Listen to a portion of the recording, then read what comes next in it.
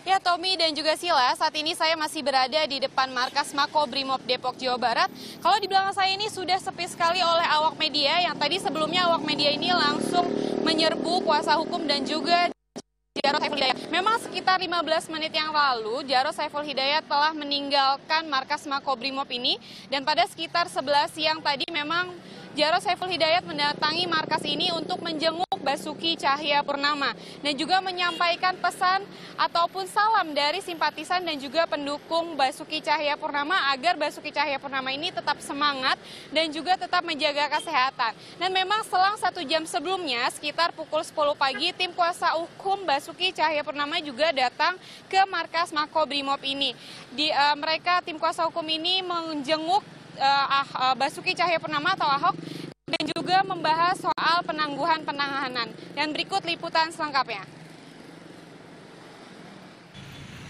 Setelah sepekan penahanan terdakwa Basuki Cahaya Purnama, tim kuasa hukum Sambangi Mako Brimob Kelapa II Depok, Jawa Barat selasa pagi.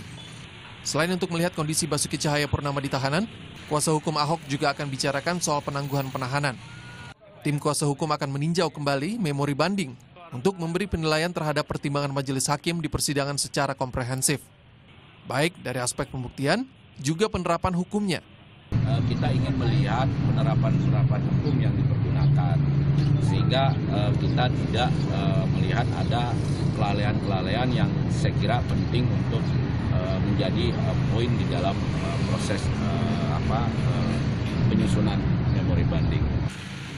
Materi banding juga telah disiapkan tim kuasa hukum. Setidaknya terdapat 22 poin yang sudah terkumpul, antara lain terkait masalah penahanan, yang dinilai kuasa hukum, hakim tak memiliki alasan kuat untuk melakukan penahanan. Rizky Akbar, Tamagi Malaya melaporkan untuk NET. Ya Tommy dan juga Sila, memang kuasa hukum sendiri mendatangi Makobrimob ini sekitar 90 menit dan memang sekitar uh, setengah 12 kuasa hukum juga meninggalkan tempat ini.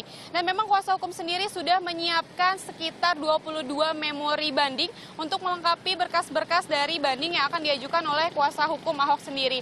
Dan menurut hakim uh, dan menurut uh, kuasa hukum dari Basuki Cahaya Purnama, hakim tidak memiliki cukup bukti untuk menahan Basuki Cahaya Purnama. Dan menurut informasi dari petugas yang berada di depan Makobrimob ini, kunjungan untuk mengunjungi Basuki Cahaya Purnama ini memang hanya dilakukan seminggu ini hanya dilakukan dua hari saja, yaitu di hari Selasa dan juga Jumat. Sila dan juga Tommy.